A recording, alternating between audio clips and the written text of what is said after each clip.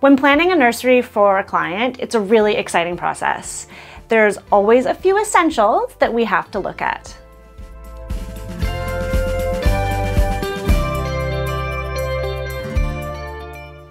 In this nursery, my clients did not know the gender of their baby, so we had to design a nursery without knowing if it was a girl or a boy. What we decided to do was, instead of going with the classic gray, it's a go-to that everyone tends to use, we decided to be a little different and use navy. Navy is a really great neutral. I love using navy. It really kind of, it envelops you in the space. It's a small space, it's a dark space. So sometimes using a dark color is actually a great way to complement it.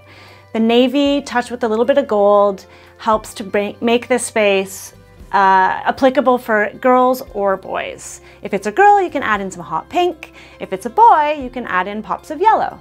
And because the walls are a dark, rich navy, we wanted to keep the floor nice and light. We chose a broadloom carpet, so soft underfoot, and a light color so that it reflects the light and it makes the space just feel so homey.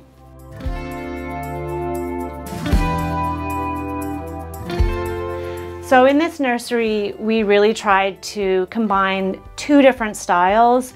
We tried to bring in the traditional bones of the home with the wainscoting on the walls and the beautiful custom drapery uh, with a little bit of traditional detail. We have the ball fringe, which is playful sort of addition to the drapery.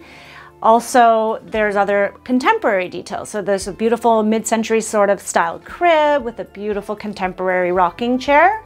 The chest of drawers is a classic basic white chest of drawers. We decided to give it a little bit of extra pop by changing out the knobs and put something a little fancier.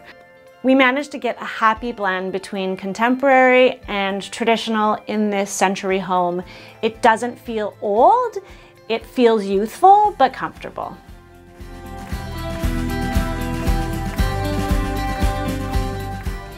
In this nursery, we really tried to find a good balance between the high and low elements, so we splurged in some areas and saved in others. A big save were these awesome walls. We really wanted to use wallpaper, but it just wasn't in the budget. So a great alternative was finding these stickers. They're wall decals. We ordered them, we stick them on the wall, you find where you want to place them, you create your own wallpaper. It's really a neat uh, statement for the space. And then the splurge for us were the custom drapes. Custom drapery is always a great finishing touch in any space. I love the ball fringe detail that we added to make it a little more playful and it really just helps bring the entire space together to create a cohesive look.